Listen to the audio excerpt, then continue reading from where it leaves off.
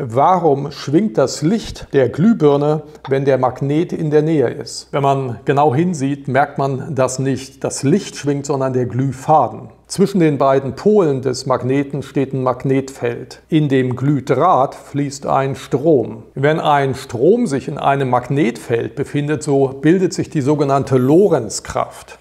Diese Lorenzkraft, die steht senkrecht auf der Stromrichtung und senkrecht auf der Richtung des Magnetfeldes. Mit der rechten Handregel kann man die Kraftrichtung herausfinden. Stromrichtung, Magnetfeldrichtung, Kraftrichtung.